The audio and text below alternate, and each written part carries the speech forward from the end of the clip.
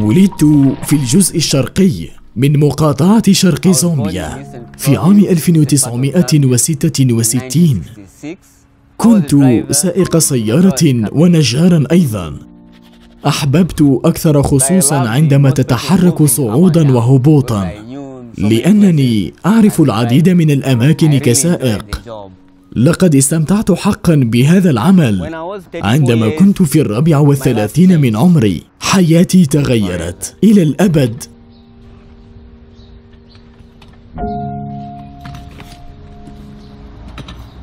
في ذلك اليوم رأيت نقطة تتطور على الساق اليسرى. بعد بضع ساعات ظهرت نقطة على الساق الأخرى. ثم تحولت ساقي إلى اللون الأسود. ذهبت إلى المستشفى واكتشفوا أنني مصاب بالجرجرينا هذا هو المرض الذي تأثرت به. ثم اتخذ الطبيب قرارا أن ينقذ هذا الرجل. يجب علينا فقط بتر كلتا الساقين آلمني ذلك حقا. كنت قريبا على الانتحار. اعتقدت أن حياتي قد انتهت. لن أقود مجددا. ولا أفعل عملي كنجار لكن بفضل الله وبفضل دعم بعض المحسنين. عدت إلى طبيعتي. فقط كان علي أن أتقبل ذلك وأقول دعها تكن بالطريقة التي من المفترض أن تكون علي. بعد أن بترت ساقي لم أعد أستطيع قيادة السيارة. لكني استخدمت مهارتي في النجارة. لأداء مهمة النجارة.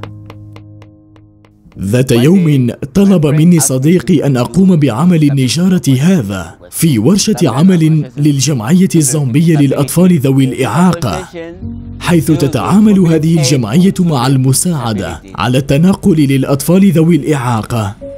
لقد تأثرت حقا ذات مرة عندما ذهبت حول عالم الأطفال لرؤية الأطفال الصغار يواجهون بعض الصعوبات في كيفية المشي والتحرك. لقد تأثرت للغاية. حتى أعلم أنني قد حصلت على تلك المهارة وأستغلها لجعلهم يجدون استخدام العكازات. يمكنني القيام بذلك على الرغم من أنني ما زلت أستطيع تقديم المساعدة حتى لا يشعر بالاكتئاب. وهم في هذه الحال. من الثامنة صباحا إلى الرابعة والنصف مساء. أصنع بعض العكازات وبعض الكراسي خاصة الكراسي الخاصة بالوقوف للأطفال المعاقين حتى تصبح ظهورهم مستقيمة.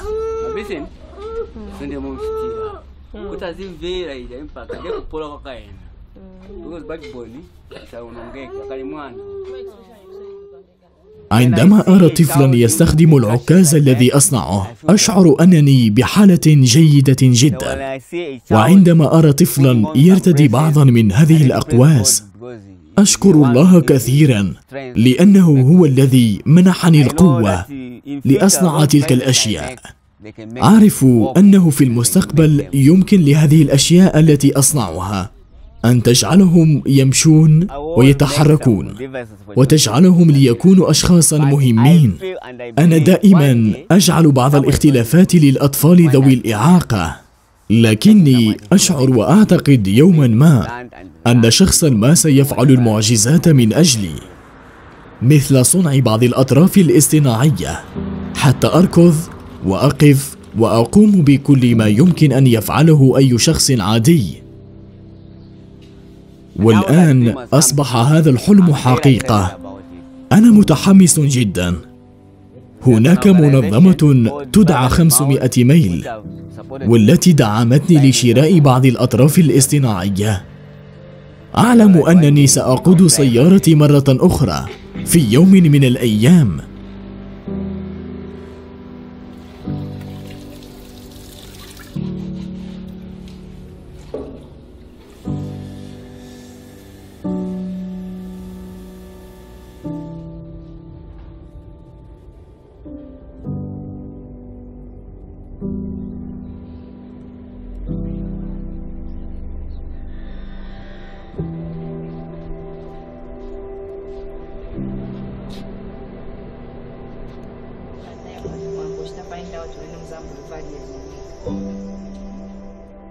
يمكن أن تتغير الحياة في أي وقت.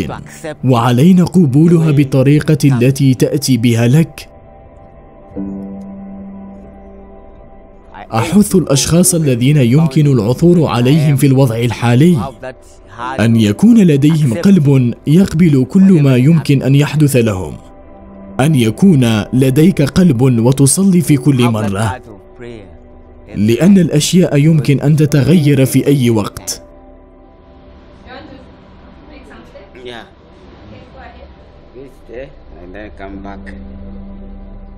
الحياة مثل كرة اللعب لأن هناك صعود وهبوط في هذه الحياة. لذا عليك فقط تقبل الأمر بالطريقة التي تأتي الأشياء إليك.